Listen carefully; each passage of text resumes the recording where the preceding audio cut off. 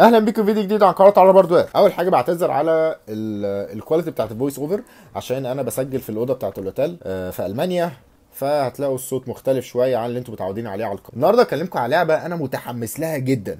فعلا اللعبة دي من أكتر اللعب اللي عجبتني في Gamescom هكلمكم النهارده على Dying Light Bad Blood طبعا أنتوا عارفين الفترة دي موضوع ال battle royale بقى هو ال trending كل الاستوديوهات بقت عايزة تحشر اللعبة بتاعتهم في ال battle royale. عندك مثلا Call of Duty عملت Blackout عندك Battlefield عملت game mode battle royale Fortnite كده كده خدته من PUBG Red Dead Redemption بيقولوا احتمال يكون فيها battle royale ما نعرفش. لكن اللي عاجبني في اللعبة دي إن هم خدوا ال battle royale بطريقة مختلفة تماما. أو طريقه مش تماما بس طريقة مختلفة يعني. وحطوا الثيم بتاعهم فيها. استوديو Techland قدم لنا تجربة حلوة جدا في Gamescom اللعبة عبارة عن battle royale online لكن 12 واحد بس في ال game. هم قالوا لنا باللفظ إحنا مش ع- إحنا ما كناش عايزين نعمل 100 واحد عشان مش عايزين ال game يقعد 20 دقيقة أو 25 دقيقة. إحنا عايزين الموضوع يبقى كاجوال أكتر عايزين ال game آخره يقعد 10 دقايق أو 8 دقايق عشان الناس ما تزهقش. نظام ال battle royale في اللعبة دي ماشي إزاي؟ زي أي battle royale أنت بتبدأ الأول في اللوبي وبتقعد تهبل شوية وتضرب شوية الناس ومش عارف إيه. أنت في الأول خالص بتنزل في مكان عشوائي جدا مش بتنط من طيارة ولا بتنط من أتوبيس ولا الكلام اللي إحنا متعودين عليه ده. أنت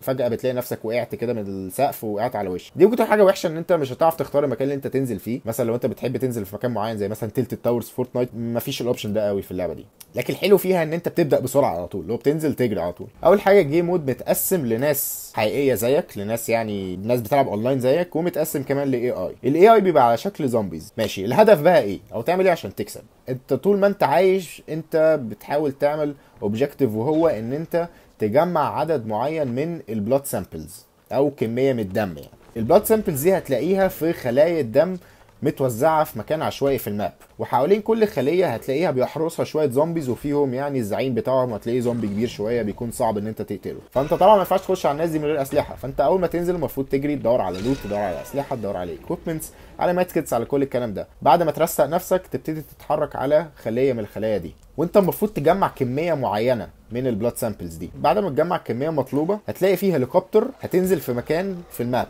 الشرط الوحيد اللي انت تركب الهليكوبتر دي هو ان انت تكون معاك الكمية من الدم المطلوبة. لكن في حوار ان انت في 12 واحد بيعمل نفس المهمة اللي انت بتعملها دي وفي واحد بس فيكو هو اللي هيركب الطيارة. فانت قدامك حلين. يا إما تروح تقتل ال zombies وتقتل الزعيم بتاعهم وفعلا تجمع كميه من الخلايا. الخلايا المتوزعه في ال map. يا إما الحل التاني هو إن أنت تقتل ناس اللي بتلعب أونلاين اللي هي جمعت أصلا الخلايا دي. بس طبعا أنت تقتل ناس هيبقى أصعب من إن أنت تقتل zombies كده كده. أنا بصراحة أكتر حاجة عجباني في اللعبة دي هي ال movement system تحس إن أنت في باركور في الموضوع كل شوية بتنط وتتشعلق في حاجات وتتشقلب ومش عارف إيه وكده. لعبة سريعة جدا لعبة بتتطلب reactions عالية جدا عشان في combat يعني بجانب الأسلحة في combat بال... بالساطور وبالكازلك وبالسيف وكل الكلام ده. صراحة اللعبة دي عجباني جدا. ال graphics برده بتاعها حلو قوي ودي فعلا من اللعبة اللي أنا مستنيها تنزل يعني. لي رايكم في اللعبة دي برده تحت في ال comments ما تنساش برضه تعمل like للفيديو تعمل subscribe لعرب Hardware وأشوفكم في فيديو جديد إن شاء الله. والسلام عليكم.